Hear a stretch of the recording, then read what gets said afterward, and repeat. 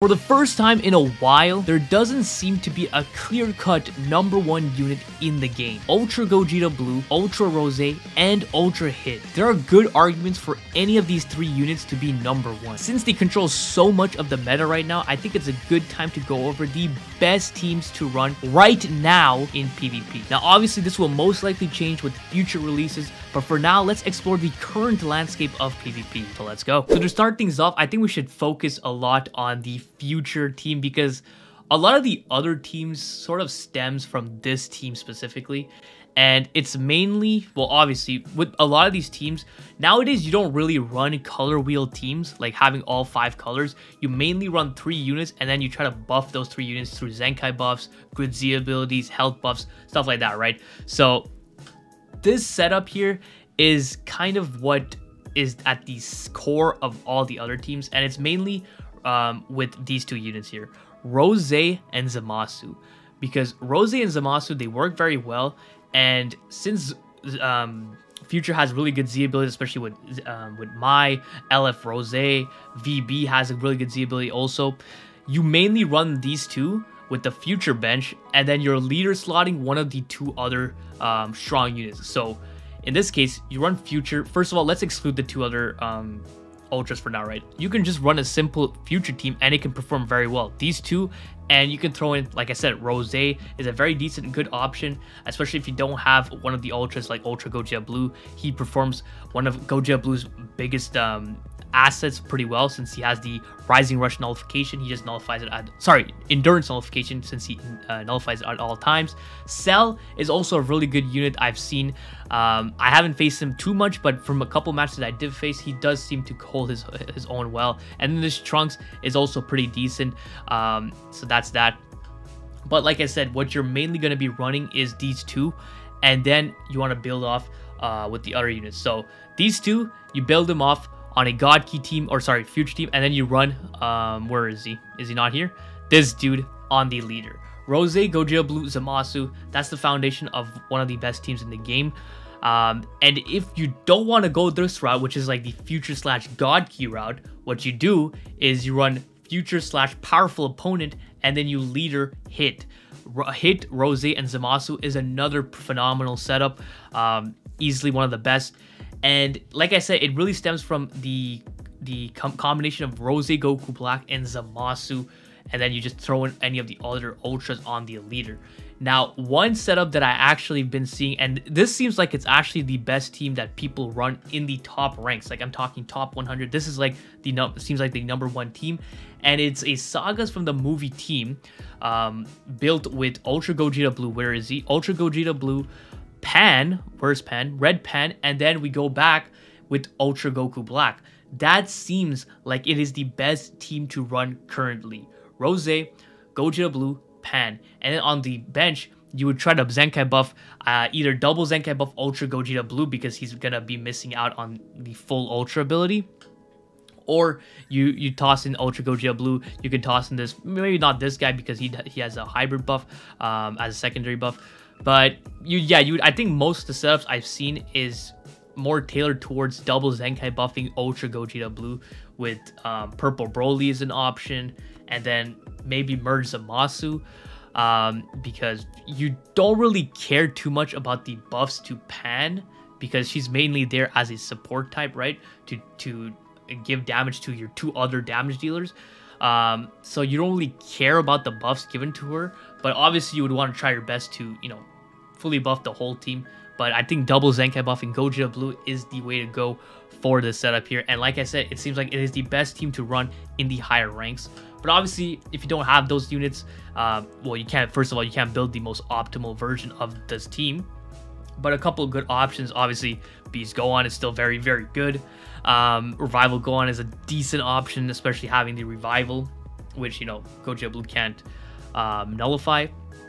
But this video is mainly focusing on the best team, so I'm going to be just simply talking about the best iteration, the best combination of units to form those teams. And in this case, it is going to be the Rose, Gogeta Blue, and Pan with the double Zenkai buff to Gogeta Blue, and then the, I guess, another buff to the whole team. So honestly, like those are pretty much the best teams in the game. That's what you're going to be seeing in 99.9% of your matches. Future slash PO, Future slash God Key, or movies with Rose. That's literally it. That's the best teams in the game. But if you want to keep going further and going, you know, to some more, I guess, maybe not niche team, but teams that can still compete at that level. Um, one team that I've been running mainly in the top ranks is Fusions, and that's oops, this is the wrong Fusion tag.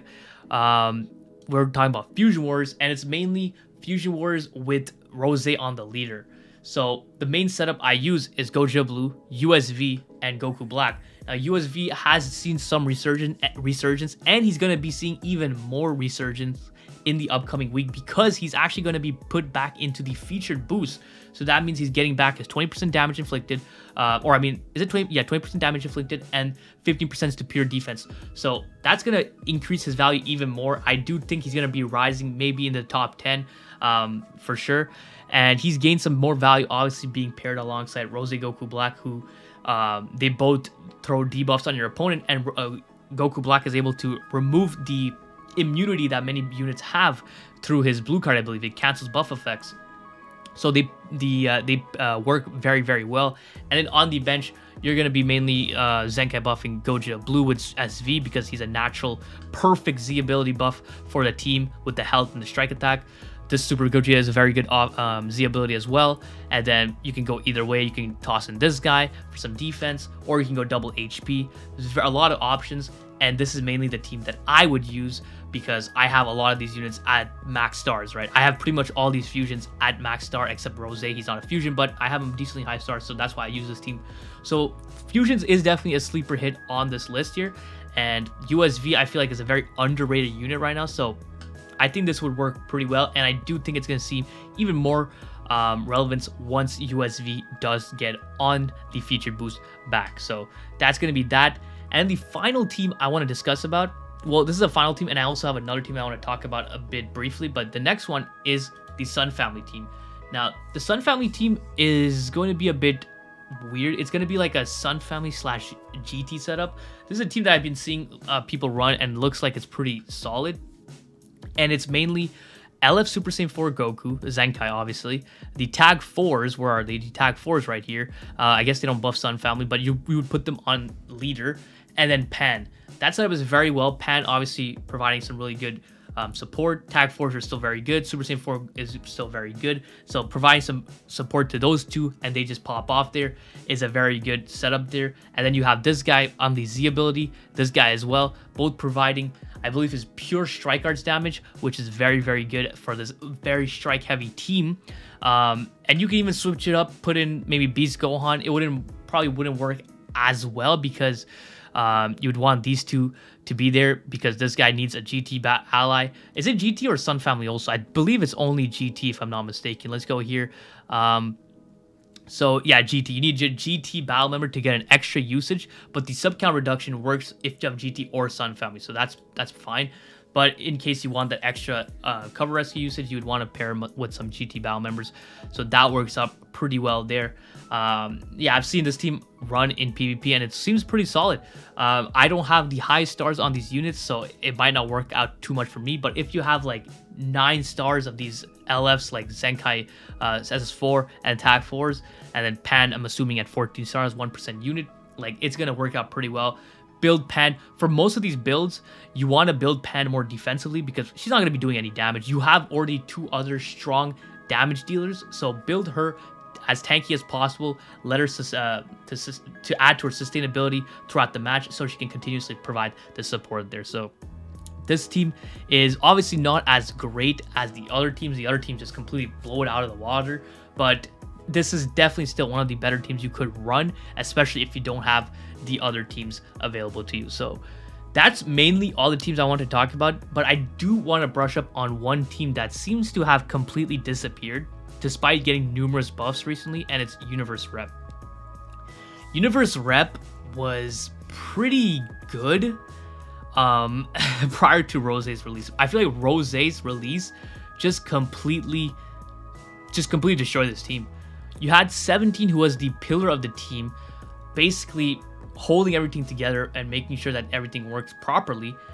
And then Rosie comes in and just quickly disintegrates him, quickly get like demolishes him, and you just don't see this team ever and ever, like ever. it's pretty crazy. Zenkai SSB Vegeta just like recently got a Zenkai, and he's still a very good unit, but you don't see him being ran because this team just sucks. Um, but if you have these units, you can still make it work. 17, you know, Revival Goku can still put in work. SSBE, that's a solid core right there. If you don't want SSB, you can run Roshi if you want his gimmick ceiling. And it's really, it really sucks for this team is their best unit hit is doesn't really pair well with this team because he's heavily strike oriented while this team is heavily blast oriented. So it's unfortunate. Like obviously you can try to build this team a bit more strike based. Like both uh, SSBE and Goku have balanced stats stat spread, so you can build them more strike based.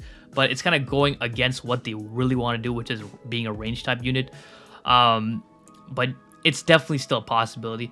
It's just I just really wanted to brush up on this team because it's crazy that they've been buffing this team heavily since the start of the year. Like 17, we got Hit, we got Roshi, we got Goku, uh, Zenkai this. Like that's five major buffs for this team. Jiren was still decent at that point. MUI Goku gained some relevance, but he, he's obviously strike based as well. Like that's five major buffs to this team. They basically gave them a full color wheel here, here with, and then a free to play. This free to play Kefla is nothing crazy, but you know, purple unit, and then this team just completely falls off a cliff after Rose's release. It's just pretty funny and pretty weird that they had it structured this way.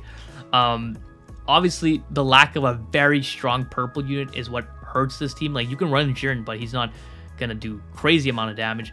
But the lack of a strong purple unit to take care of that Rose is probably what's holding this team a bit back.